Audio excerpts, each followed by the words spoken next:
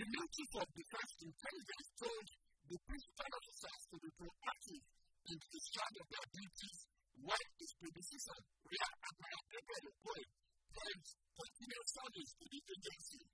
The new after a tour of facility, had a closed session with staff and bared his mind on the way forward to win the fight against insurgency. We are going to work hard to give actionable intelligence to all the uh, planners and strategic planners. So that is our vision, and it's going to be crafted in a way that Nigeria will be proud of us. We don't, our job, essentially,